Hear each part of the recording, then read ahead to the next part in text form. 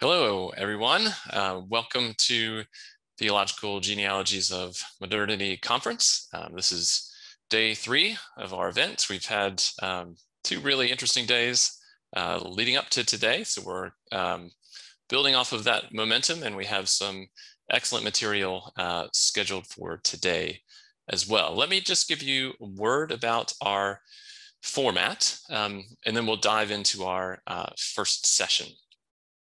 So each of our hours for the conference is broken down into four parts. Um, our presenter will give a paper summary, um, not a full paper, but a paper summary.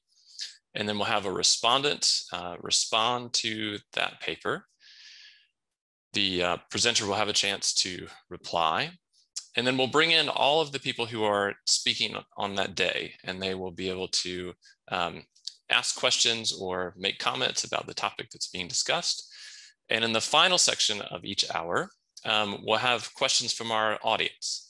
So um, if you're an attendee out there and you have a question that you would like to um, pose to those who are speaking, whenever that occurs to you, um, just pop it in the uh, Q&A button that you see at the bottom of your screen just type out the question, it will come through to us, and then we will um, we'll pose as many of those questions to our speakers as we can.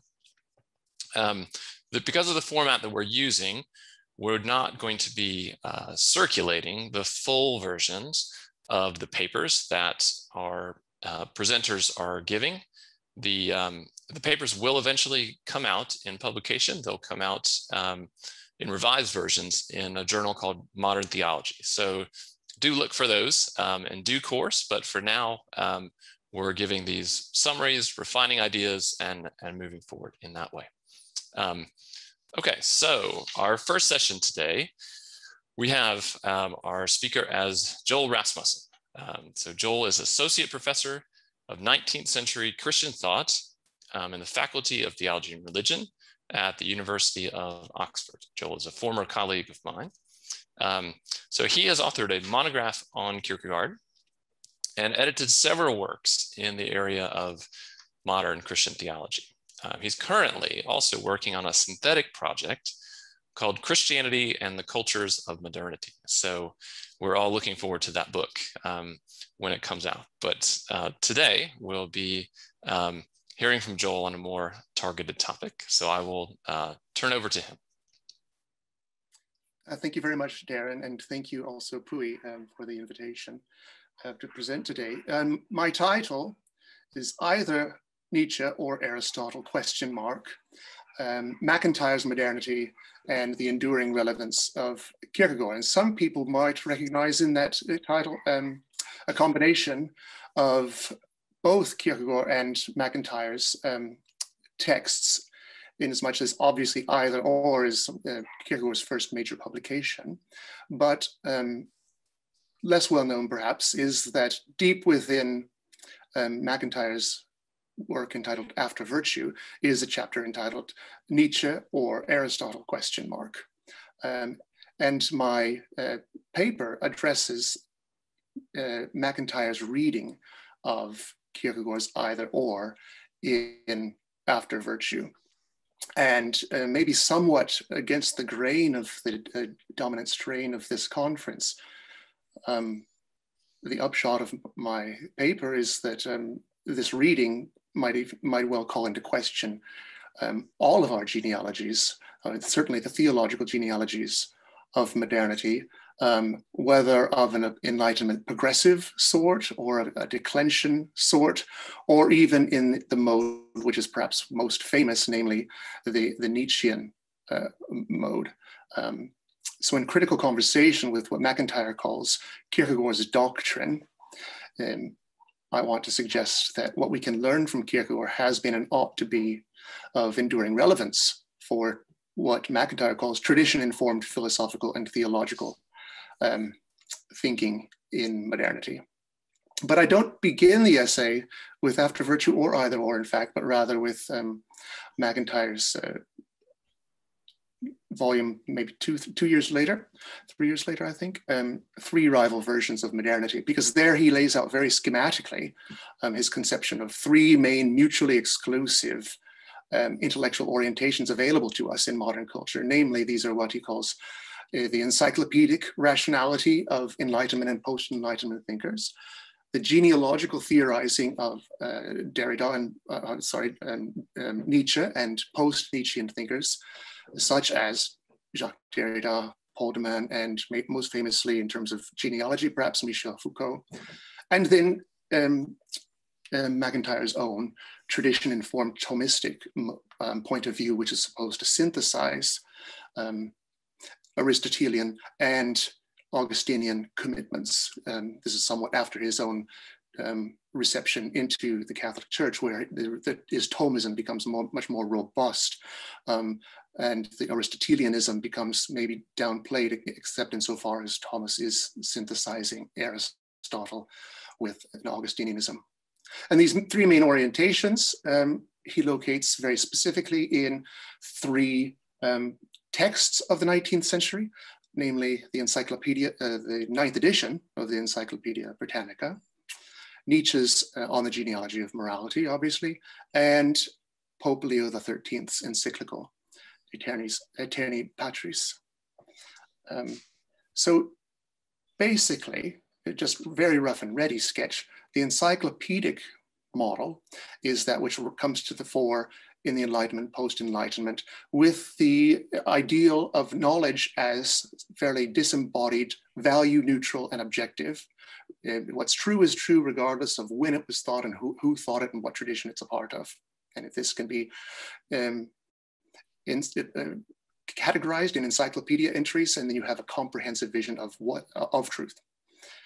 Um, the genealogical, obviously, is ready to hand already by the time the ninth edition is published, because Nietzsche is already, uh, well, no, that's not quite right, but um, right around the same time, Nietzsche publishes on the genealogy of modernity, which points out really that all knowledge is, um, if it's knowledge at all, is perspectival, and it does matter who says it and when and how it's come into, into being. Um, and then uh, in agreement with that perspectival um, notion is the tradition informed position of his own uh, Thomism, of MacIntyre's own Thomism. Um, but in disagreement with Nietzschean, it, it, actually has some notion of a transcendent truth to which all our knowledge claims are accountable and which, te which tests them.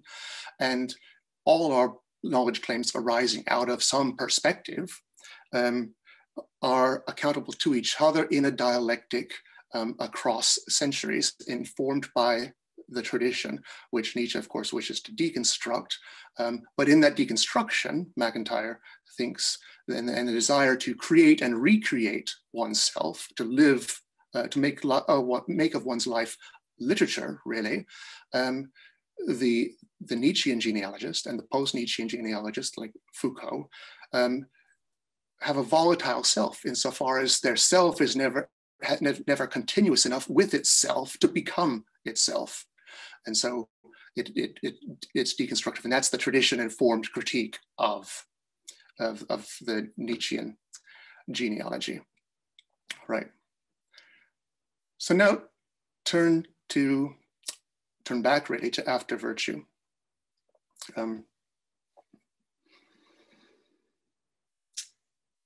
in After Virtue, MacIntyre um, tells us tells a st story where, where these there are these uh, um, alternative opportunities for us to again so but he's not made his own thomistic turn but still he's an aristotelian. He's advocating for an aristotelian because uh, aristotle gives us um, uh, this sort of dialectical accountability to each other to working out the truth that if we don't have that then we're ultimately ending up Nietzscheans is, is the overall trajectory of, of the work.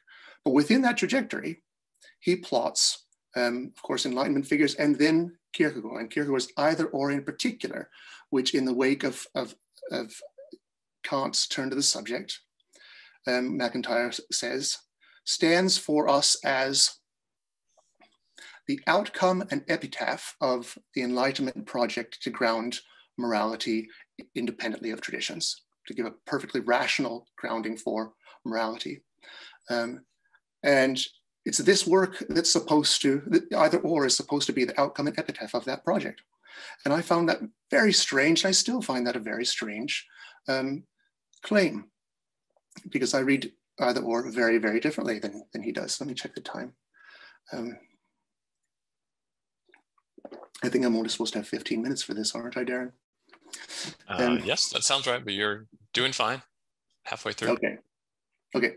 Um, either or um, is famously comprised of two major volumes. It's edited by a pseudonymous ed editor, Victor Eremita. In the first volume, we have a jumbled set of letters, papers of the aesthete and uh, a seducer named Johannes. We never know the aesthete's name. It was just known as A.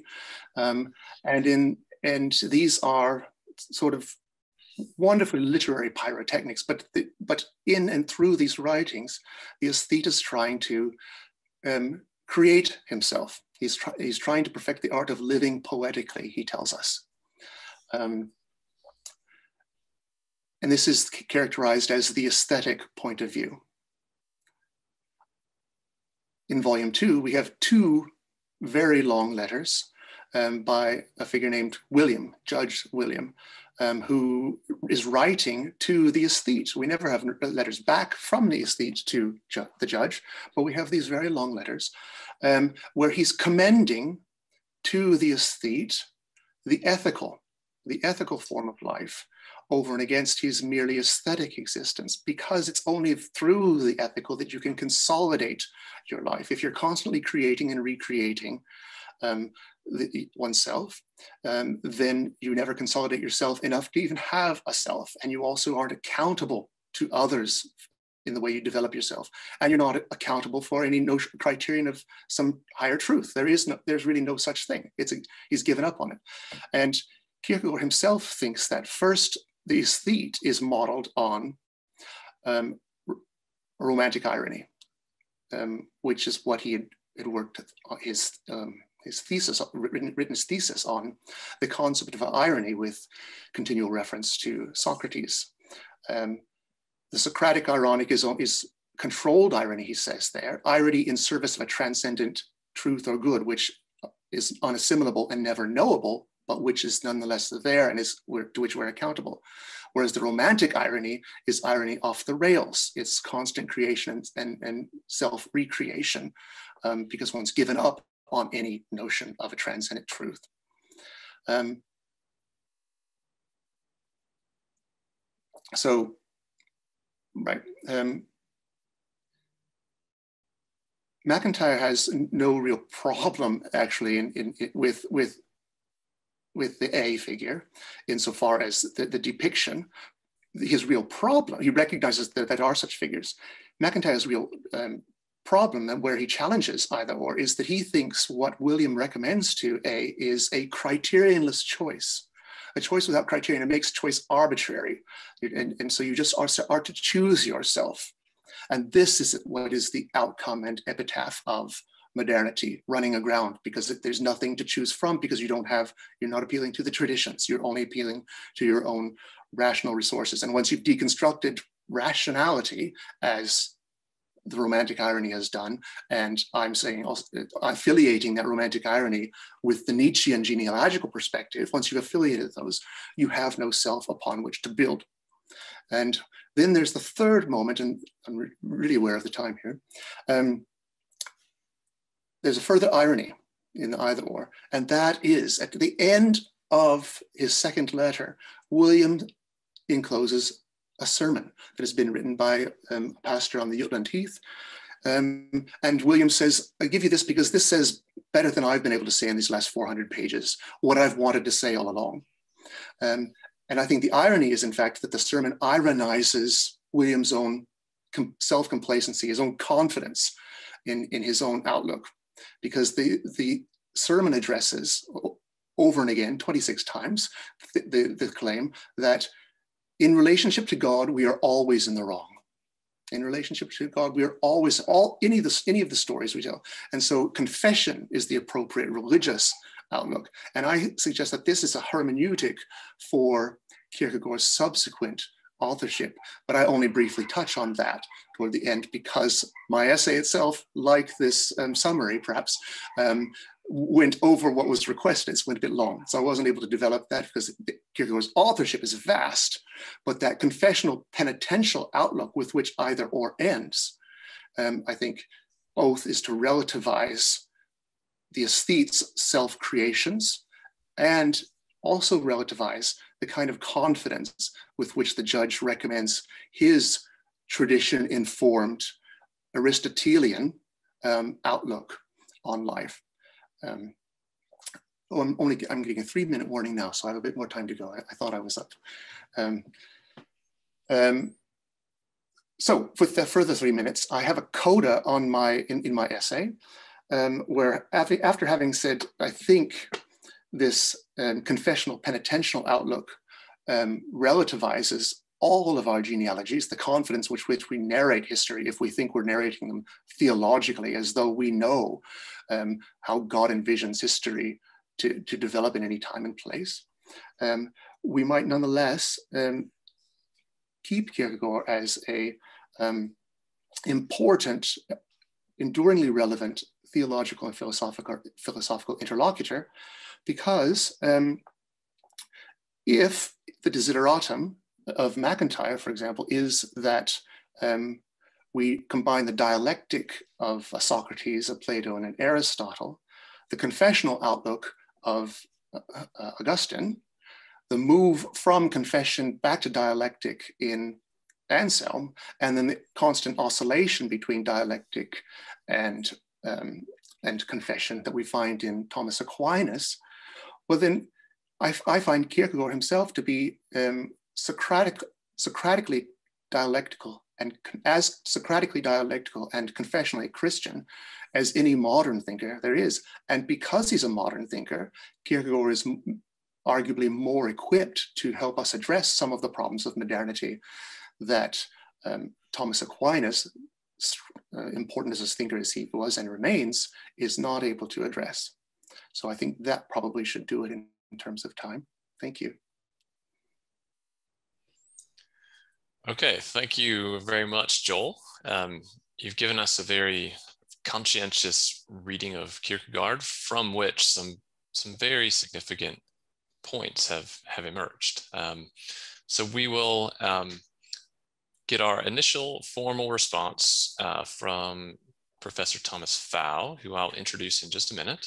Um, but I want to also renew my offer to anyone out in the audience. Um, if you have questions, if what's being said is prompting questions from you, um, go ahead and put them right in that Q&A feature and we'll see if we can integrate them into the discussion. Um, so Thomas Pfau is the Alice Mary Baldwin Distinguished Professor of English um, at Duke University. And he also holds secondary appointments in German um, and at Duke's Divinity School. He's written many books, um, among the most relevant for our conference theme are Minding the Modern uh, from 2013, his own genealogical account of modernity. And he has a new book uh, focusing on phenomenology of image, image consciousness in literature, theology, and philosophy. And I think we're expecting the publication of that book this year or next year. Um, so we, we look forward to that. Um, and also to hearing now um, what he thought of Joel's reflections on MacIntyre and Kierkegaard. So over to um, Thomas Pfau. Uh, thank you. Uh, thank you for the uh, invitation to uh, be part of this event and um, to Joel for his paper, which I found uh, very lucid and um, throughout long stretches very persuasive. Um, I will read my response in the hope that that will actually keep me in the time limit um, and protect me from my instinct to embroider in ways that would likely run over. Um, so um, that'll make it a little more formal, but I trust it's better that way. Uh, so I want to uh, just first of all acknowledge that uh, as far as uh, Joel Rasmussen's uh, account of MacIntyre's reading of either or uh, is concerned, I find myself really pretty much entirely in agreement with the way it's argued and structured. And initially want to just offer a couple of amendments, entirely friendly, uh, designed to underscore just how different, both in rhetorical approach and conceptual intent, uh, Kierkegaard's book is from the Enlightenment project with which MacIntyre tries to identify. Following that, I want to put some pressure on Joel Rasmussen's account of Nietzsche in relation to romantic irony. And then uh, finally, I want to speculate a bit more liberally where, uh, about where Joel Rasmussen's uh, brief concluding remarks might take us. So um, perhaps even more than Joel, I confess to being rather dissatisfied or even perplexed with MacIntyre's decision to situate either or in the narrative tradition of Diderot's Rameau's nephew and Henry James's Portrait of a Lady, the text that MacIntyre uh, presents as points of reference. Um, both on stylistic grounds and also on historical grounds, uh, Kierkegaard's uh, supremely self-conscious seducer is, I think, far more plausibly associated with works like Laclos' Liaison Dangereuse, Mozart's Don Giovanni, obviously a reference point for this book, uh, Schlegel's Lucinda, which Joel Rasmussen also mentions. Uh, I'm also thinking of Stendhal's Le Rouge et le Noir, and uh, particularly of Goethe's elective affinities.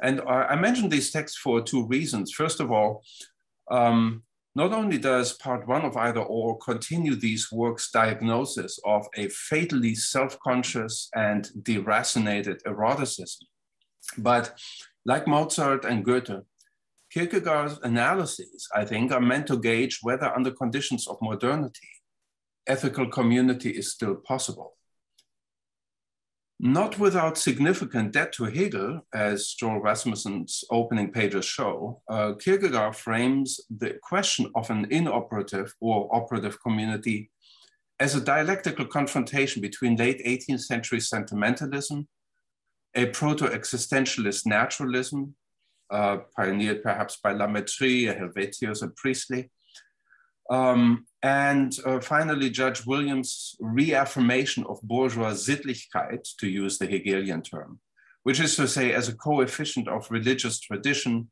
civic institutions, and bourgeois habits. Now, notably, neither sentimentalism, naturalism, nor bourgeois moral theory can bridge the conceptual chasm that separates it from the other two. And that leaves us with a classic instance of what MacIntyre would call incommensurability.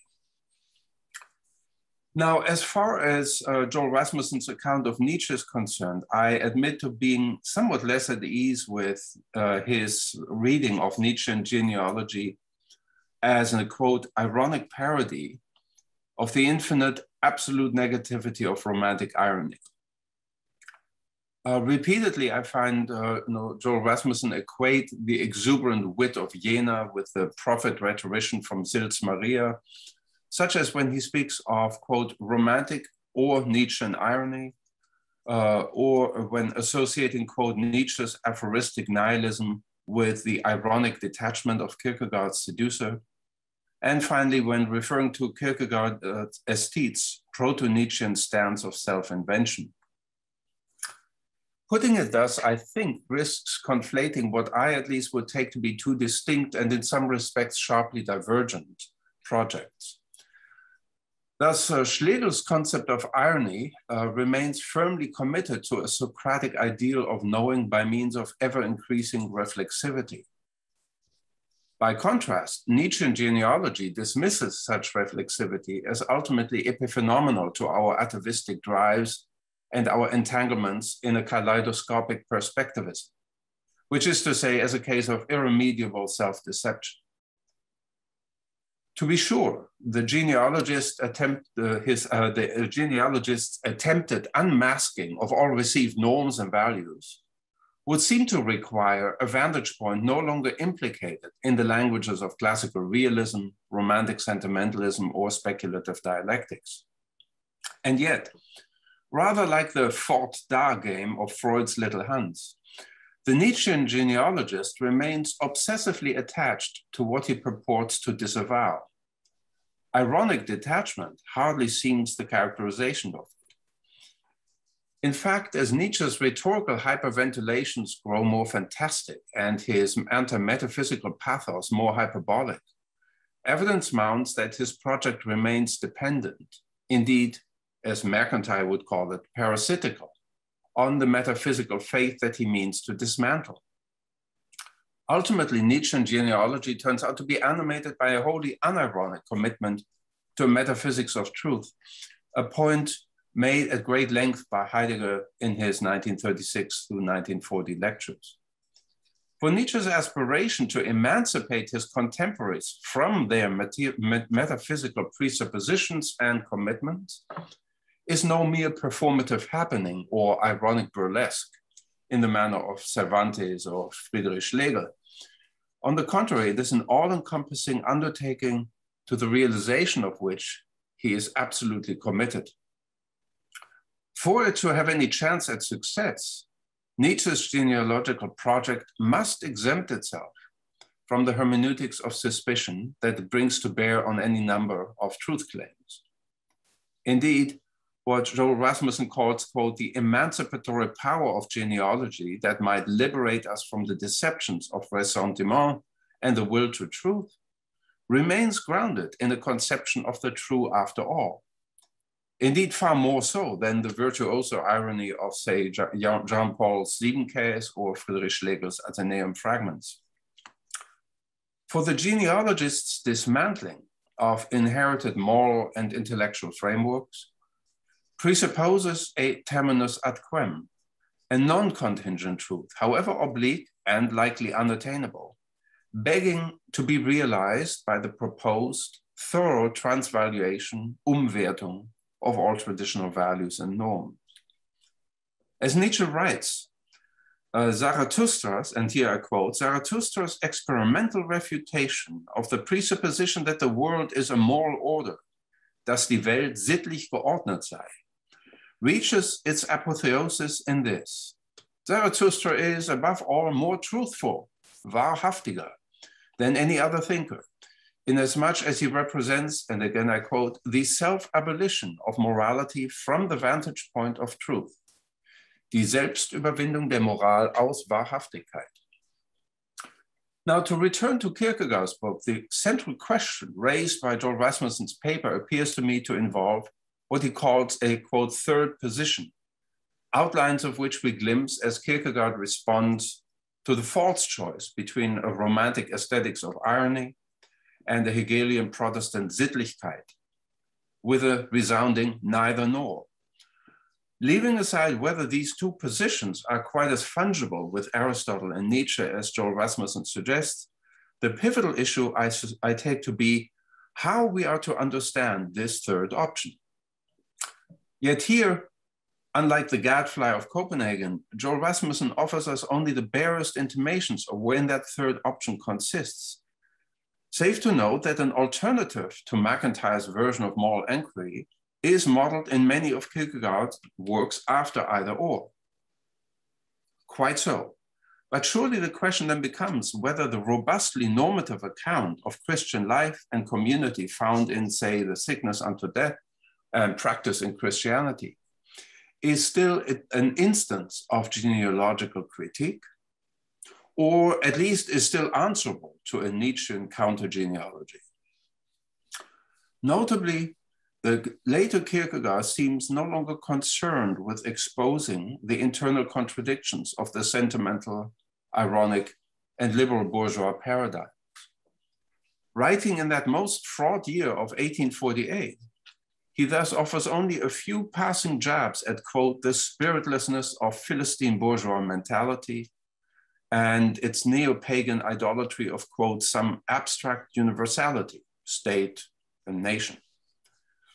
Instead, Kierkegaard's focus now is squarely placed on what he calls, quote, the offense of Christianity, namely its uncompromising placement of, quote, the human individual be, uh, be, being before God and on the concepts of sin and despair. Neither modern apologetics, which, as Kierkegaard uh, shows, defends Christianity in such a way that the offense has been removed, nor the rationalistic and historicist attempts to, quote, deny Christ, any longer holds his interest.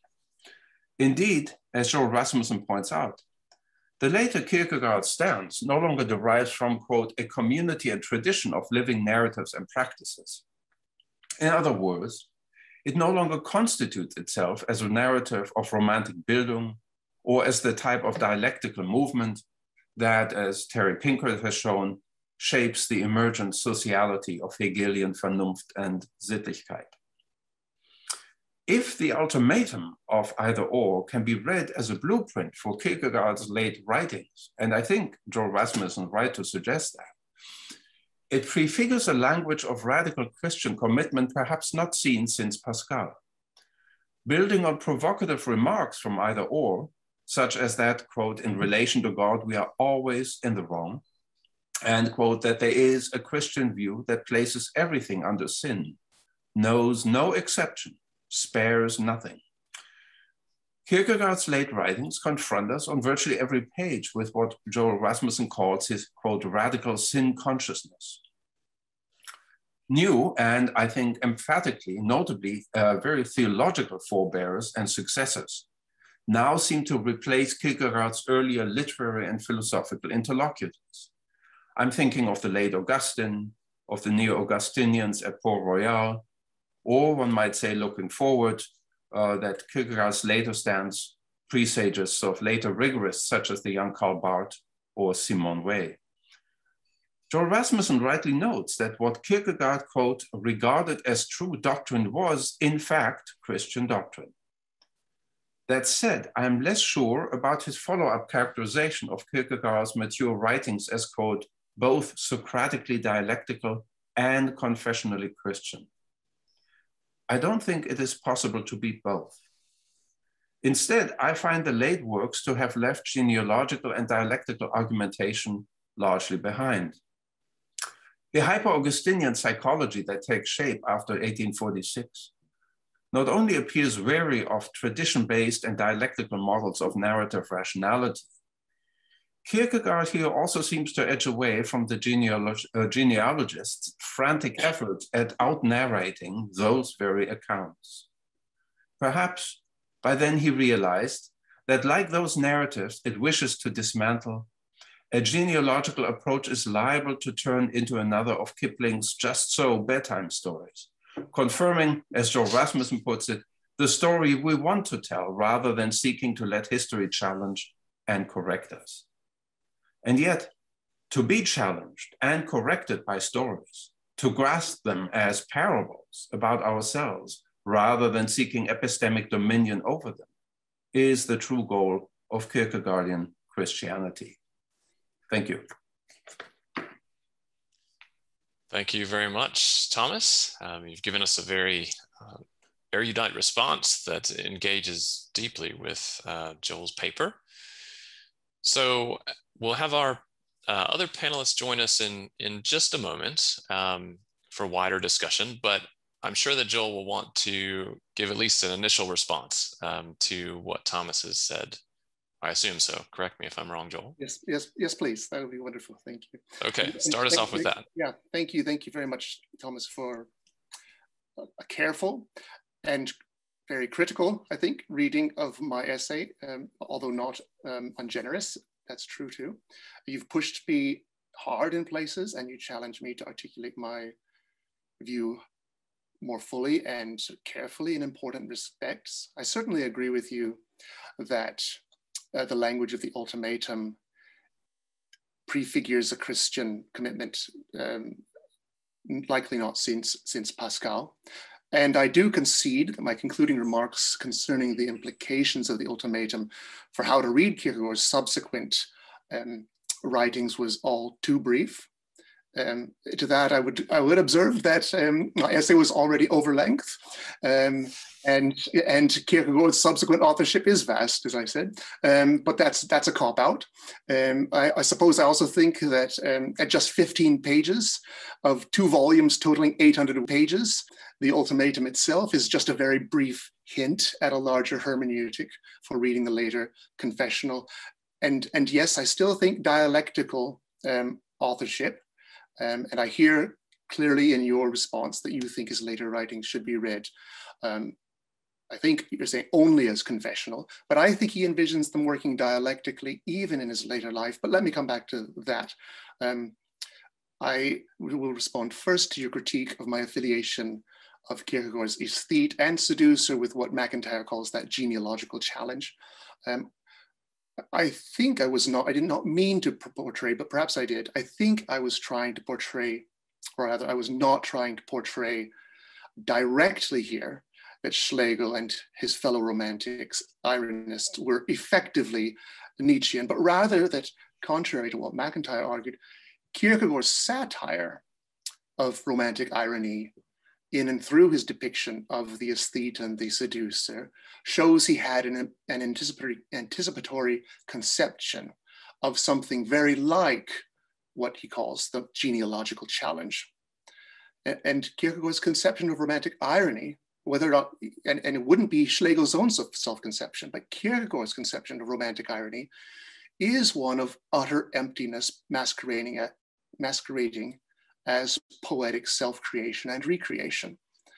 And just as MacIntyre thinks the genealogists cannot consolidate themselves, so too Kierkegaard depicts, depicts the aesthete and the seducer and romantic irony generally as Ouroboros.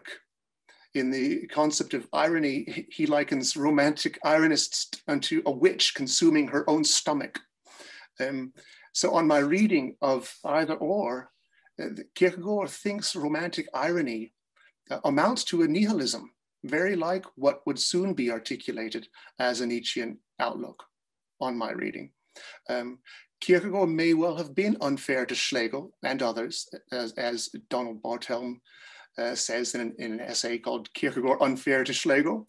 Um, but at least the first volume does show, I think, the first volume of Either Or does show, I think, that he could envision something very like the genealogical challenge avant la lettre.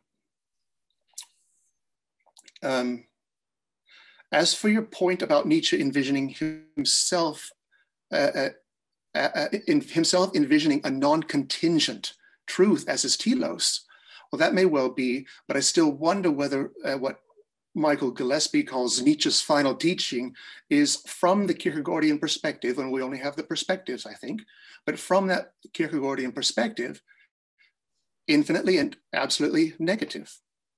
So because Zarathustra's abolition of morality, as you said, from the perspective, from the vantage point of truth, it seems to me both stands in a kind of paradoxical tension with Nietzsche's understanding of the will to truth, uh, will, to, will to truth masquerading as the will to power, and manifests what Kierkegaard, using Hegel's phrase, um, would have called this infinite absolute negativity with respect to truth.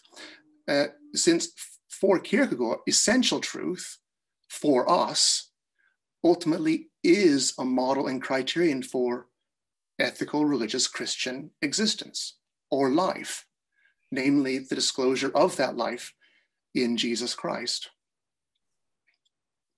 So now I am I'm back to the confession, confessional dimension of Kierkegaard's perspective. And you rightly pointed out that I've offered only the barest intimation of that option. I am grateful to you for extending the discussion into the robustly normative account of Christian life uh, that we get in subsequent writings, as you mentioned, especially the Anti-Climacus writings of the sickness and death of 1849, practicing Christianity, 1850. Um, and here you observe you find that he's left out the genealogical out narration and the dialectical argumentation. He's left those behind. Um, and since these works can be read as a confessional amplification of the ultimatum of either or, uh, without some internal representation of the other life stages, um, I, I do have a sense for what you mean. Nevertheless, I think those works are internally dialectical in a different respect, in the way they discuss, for example, the relationship between the infinite and the finite, the relationship between the eternal and the temporal, between sin and grace. And I might still characterize the view displayed there as Socratically dialectical, because Anti-Climacus, like Kierkegaard, uh, never comes to think of these contraries, uh, never comes to think these contraries can be mediated um, by knowledge. This, this, is why Paul Ricoeur calls um, Kierkegaard, this is what Paul Ricoeur calls uh, Kierkegaard's broken off dialectic of faith. And he distinguishes, distinguishes it from the Hegelian dialectic of rational mediation.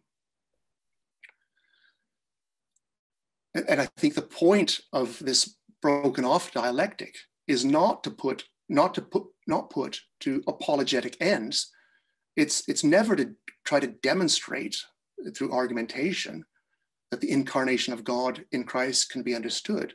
Its dialectical point is to demonstrate or to understand that it cannot be understood. And not just to throw one's hands up and show, say it cannot be understood, but show and understand that it cannot be understood.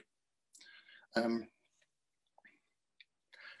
but if that's not enough basis to claim that in his later authorship, Kierkegaard remained both Socratically Christian and confessionally, uh, Socratically dialectical and confessionally Christian. I think we might also look at what else Kierkegaard was publishing in these years. In 1849, the year he published um, The Sickness and the Death, he also published uh, The Lily of the Field and The Bird of the Air. On that very day, he published the second edition of Either Or. And I think this decision, well, I take it this, this decision on his part, can be taken to suggest that in orchestrating the intertextual dialectic of his authorship, he was intimating something like, these are to be read together for self-examination and then judge for yourself, which happened to be two other titles he published subsequently.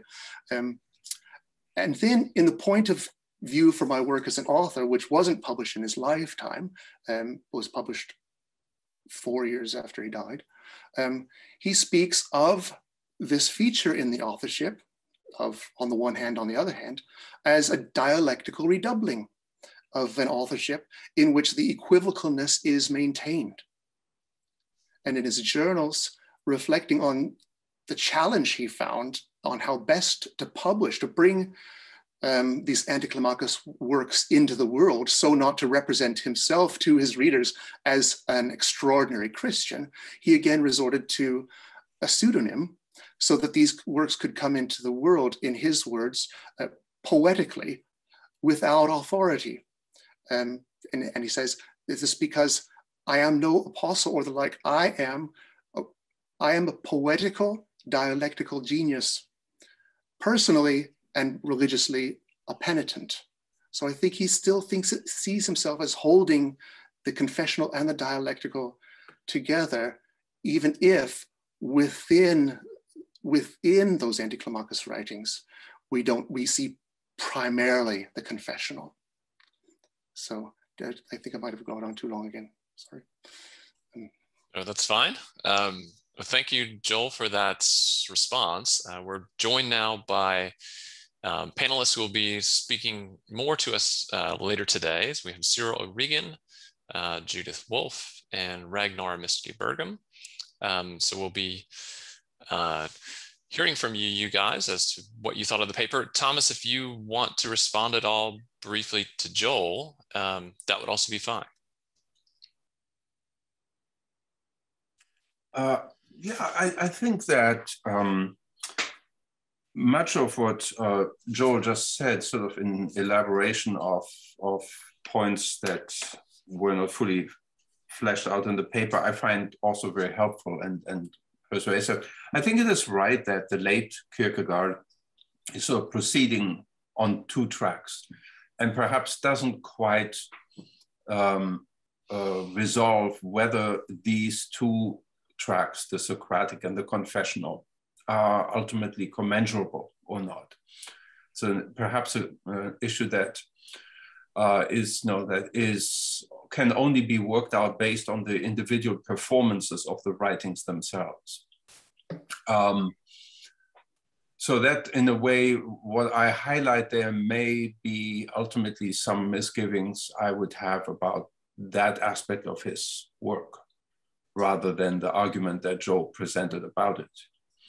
Um, on um, on the, uh, I mean, one of the other things that I would just note is that the romantic irony in the way that Schlegel discusses it, in which you know um, Joel so very nicely contextualized for us again in the way that Kierkegaard came to think about it. That critique is, of course, to a certain extent already anticipated in Hegel's lectures on aesthetics.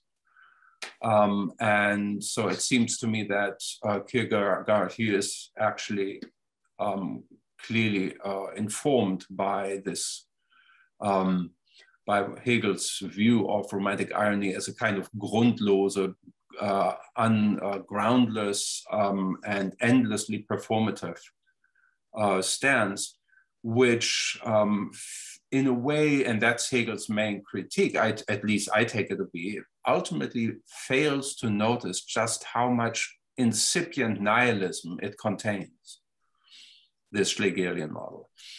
Um, that I think uh, it's there that uh, that Kierkegaard's sort of confessional persona is already showing signs of rebellion against that that kind of strictly performative uh, model of, of being in the world.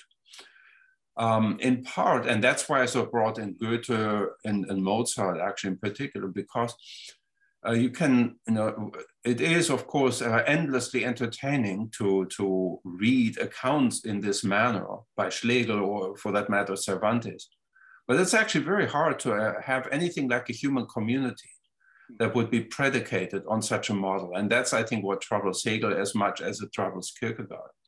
Uh, uh Schlegelian irony and with its uh, nihilist or proto-nihilist undertone uh, would spell disaster for the possibility of an ethical community. It just would never result in one.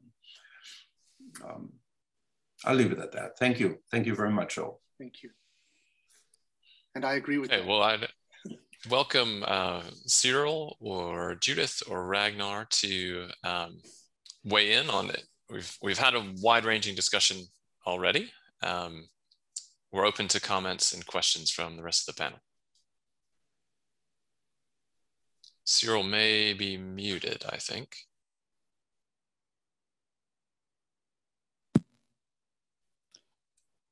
I think Thomas raises an issue, which I think he also kind of modified.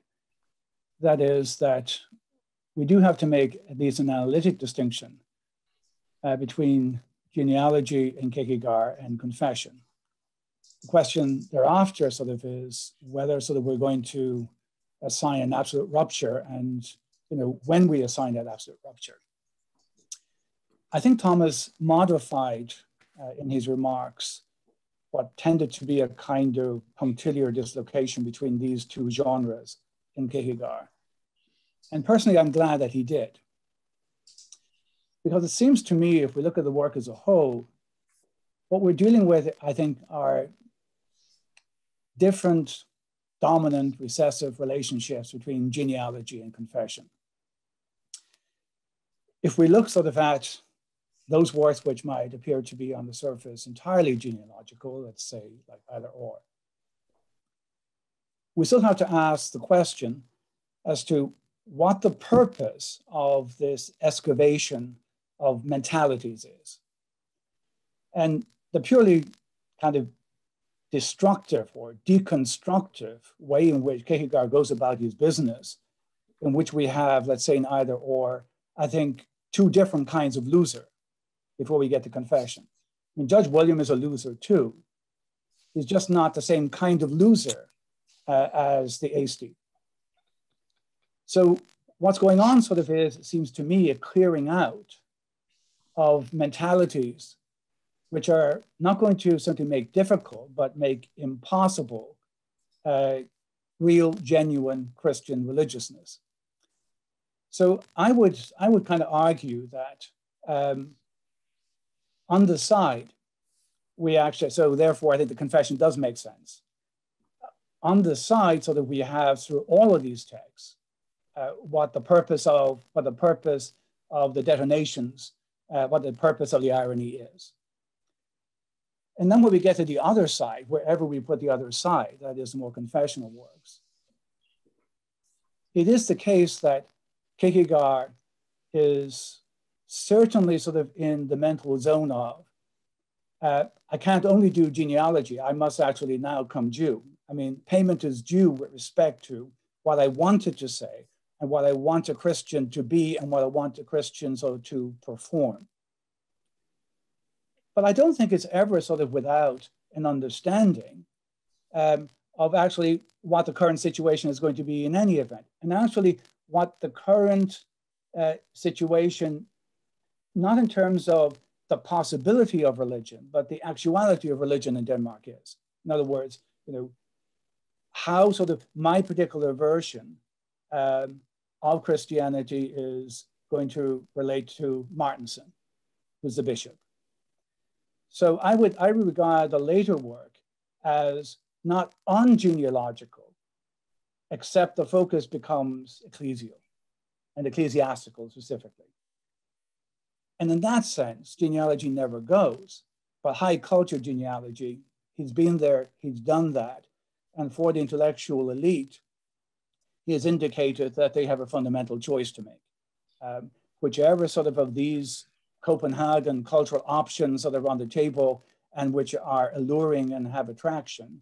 He wants to say that, you cannot have your ethical cake, Judge William, and eat it. You cannot have your aesthetic cake and eat it and be religious and so forth. That done. Question then, I think, sort of is more ecclesial issue. What is the, what is the best kind of reading uh, of scripture, for instance? How troubling or untroubling is the reading of scripture? What does scripture perform? when is when is the Bible scripture? When it is not? When is it read not as scripture, etc., and so forth? I think it's a different set of issues. Joel, do you want to come back on that one? I, I, I'm very attracted to everything you've observed there, Cyril. Um, I would have a question. I'm not sure entirely how you're using the word genealogical with respect to the excavation later in, in, in his life. I'd be interested to hear that. So I was arguing that it's still dialectical, um, but post-genealogical. But maybe maybe you can push back and, and, and show me how it remains genealogical in a certain respect. Uh, Joel, I think you actually have a point. Um, so I, I, would, I, I, think sort of I would prefer to play for a draw on this one.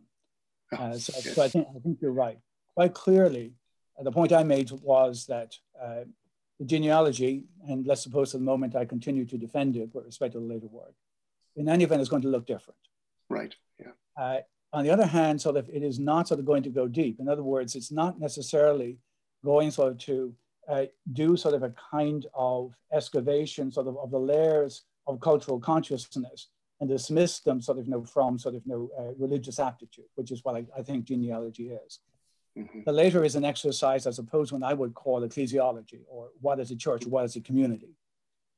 Uh, and it may very well be sort of that what you're saying is what I'm kind of calling a, a genealogy, you know, by sort of a different stroke, or I would even say a genealogy sort of in a minor key, I'm, I would be prepared, I think, in argument uh, to sort of concede that, well, you know, a genealogy in a minor key doesn't look terribly different from dialectic. And at that particular point, I think we might be talking sort of about words. So I think that that sort of uh, is my concession speech, I think, on that particular point.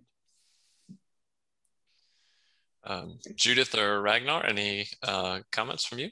Yeah, can I come in on uh, Thomas's response and particularly on the, the wider claims that Thomas made beyond Kierkegaard in his response? I'd be interested in hearing more from you, Thomas. It sounded to me as if you're suggesting that um, the uh, that a consciousness of sin, that Kierkegaard's very pervasive consciousness of sin, um, draws the floor from under a particular kind of genealogy because many of our genealogies have the purpose in a sense of alternative accounts of fall, of decline, or of progress. In other words, they pose alternatives to a thoroughgoing account of human sinfulness. Uh, if that's the case, do you have a sense of what, if at all, the normative function of genealogy should be um, within a Christian account where sin is dominant, or whether you think that you know genealogy shouldn't shouldn't play a normative role because actually sin is what we should be focusing on, not narratives of decline or of progress.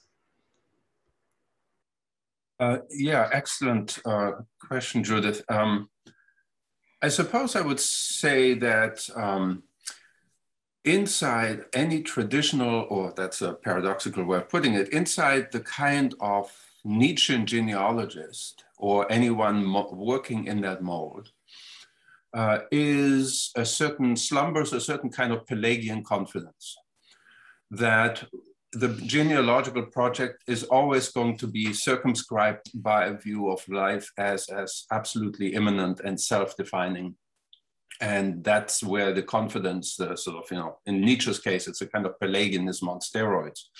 Um, the, the difference is that uh, Kierkegaard, in a way, I think focuses, uh, I mean, there is a certain way in which his writing retains the genealogical uh, uh sort of pathos, but it now focuses squarely on our uh, persistent failure, perhaps the, the, the, one thing that actually unifies all Christians uh, in Kierkegaard's view, is that they tend to be bad Christians, that, that Christianity is largely a history of self-betrayal.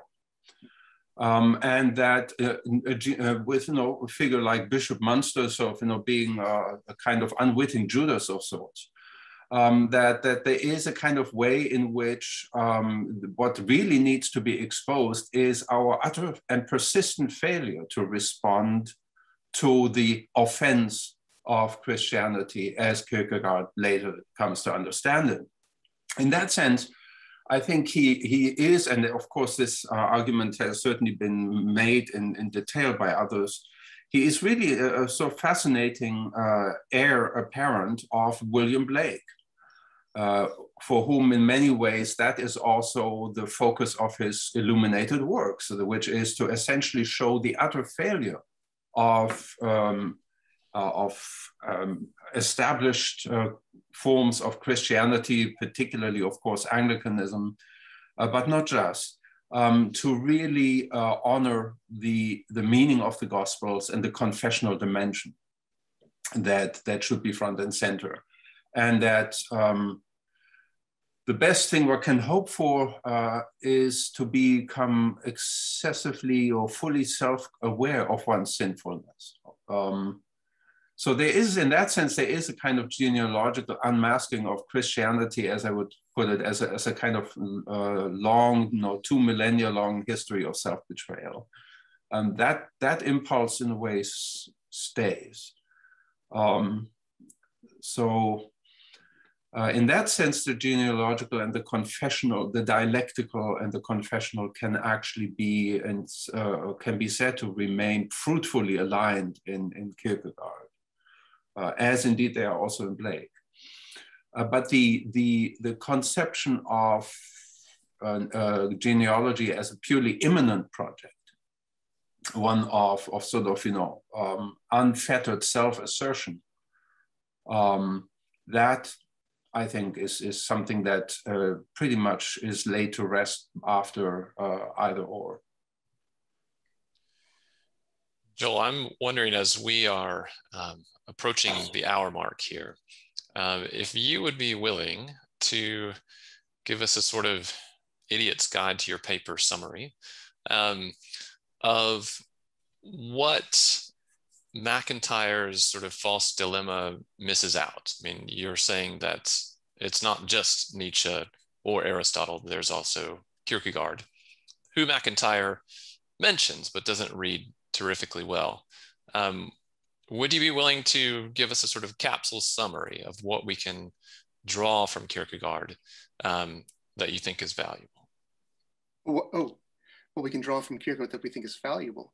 Um, well, in, in the coda part that I mentioned, I tried to suggest that if what, what is desired, if what MacIntyre wants is tradition informed by the dialectic of Socrates, Plato, and Aristotle, conf the confession of the Augustinian tradition that Thomas has so uh, rightly underscored here, um, and a willingness to move back and forth between them in conversation with them, um, then in modernity, he, he could do no better really than Kierkegaard, whom he in fact relegates more than any other figure really in the, in the history of theology and philosophy. Kierkegaard's either or is made to speak for um, what he calls Kierkegaard's doctrine, and this is characterized as the outcome and epitaph of the Enlightenment project.